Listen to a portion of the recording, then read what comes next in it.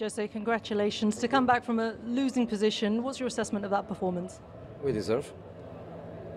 I think if we split the match in um, in periods, we were the best team for uh, many of these periods, and even when uh, they had the ball in this period where we were winning to one, we were totally in control. Uh, we lost control, and they were the best team after the one 0 There was a period in between the one 0 and our equalize where um, we lost a little bit the control of the positions in in midfield and we gave too many too many spaces to to Dele Alli and uh, and Eriksen.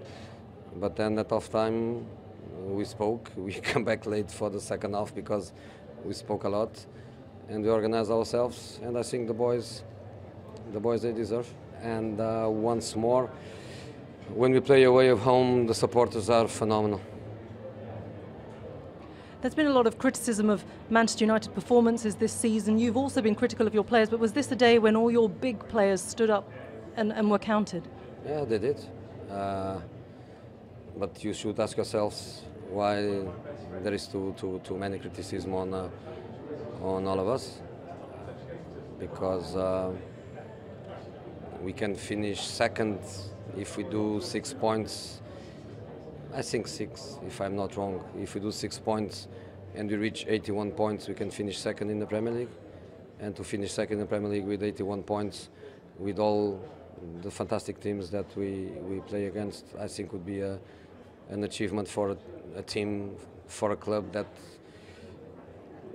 cannot do that for a few years now. And um, will be the third, the third final in in two years for the boys. In fact, the fourth final in three years because with with Mr. Van Gaal they also reach uh, a FA Cup final.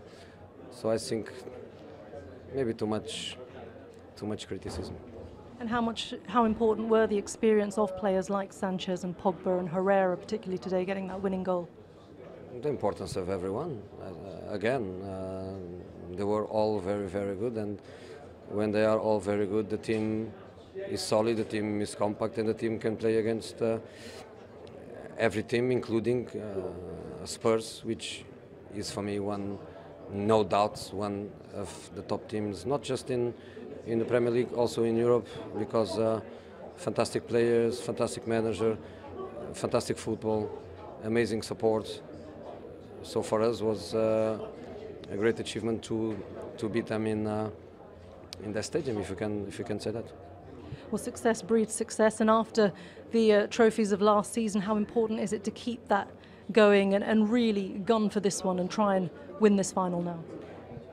You know, I had I had this morning one one simple uh, SMS from from one of my bosses, uh, Ed Woodwards, and he was saying that um, I believe we are going to win, but if we don't, the season is a good season. The season is a season where everybody was was professional and everybody is trying to to bring the club in in the right um, direction, and that's that's my feeling too.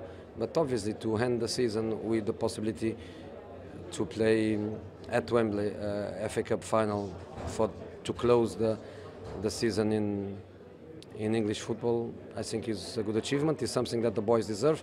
But now, I was saying already in the dressing room, we need to focus on our six points.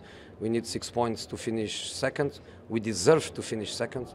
And if we finish second with 81 points, uh, behind uh, a fantastic Manchester City that that broke numbers and and got a, uh, an amazing uh, number of points. I think is a good achievement for the boys.